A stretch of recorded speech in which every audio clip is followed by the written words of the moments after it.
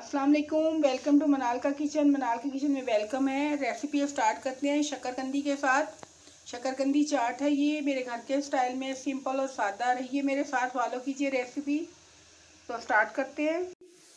तो ये मेरे पास स्वीट पोटैटो कह सकते हैं अभी शक्करकंदी है, इसको मैंने उबाल ली है। इसमें हल्के हल्के इसका छिलका सॉफ्ट होता है तो आपको कहीं कहीं दिखेगा ना, लगा हुआ। और इसे ठंडा कर लिया अच्छी तरह, ठीक है? ये मेरे पास शक्करकंदी है, नमक डाल के मैंने बॉयल कर लिया है। आधा घंटा, चालीस मिनट तकरीबन लगे हैं। वन के जी ये है।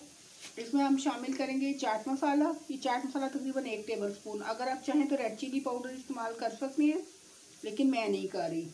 एक से डेढ़ जाएगा ये टेबल स्पून अच्छा सॉल्ट जाएगा इसमें हाफ़ टी स्पून अच्छा ये ब्लैक सॉल्ट है। काला नमक ये जाएगा इसमें। और अब हम इसमें शामिल करेंगे ये मैंने इमली को भिगो के रखा था। तकरीबन ये आप कह सकते हैं,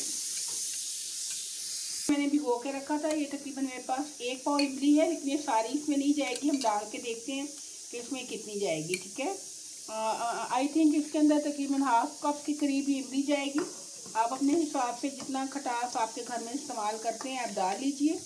लेकिन ये कि थोड़ा ये, इसका लिक्विड ही चाहिए ये तो ये इसी तरह अच्छा लगेगा।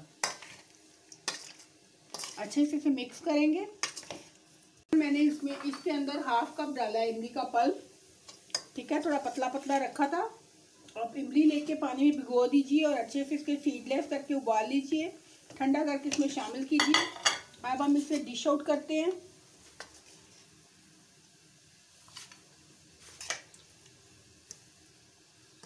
डिश आउट कर दिए अब हम ऊपर से इमली का इसमें पल्प और शामिल कर रहे हैं। आप चाहें तो इसे चीनी के साथ भी बना सकते हैं, इसमें चीनी भी थोड़ी सी ऐड कर लीजिए। लेकिन मैंने इसमें नहीं शामिल की। ये तो मेरी फाइनल लुक है, मेरी रेसिपी का। आप इसे कह सकते हैं कि मैंने शक्करकंदी की चाट बनाई है। उम्मीद है आप लोगों को रेसिपी पसंद आएगी। दुआ में याद रखिएगा। चैनल पे आने का शुक्रिया। बड़ों को सलाम, बच्चों को प्यार। अल्लाह हाफिज़। अलैक्म।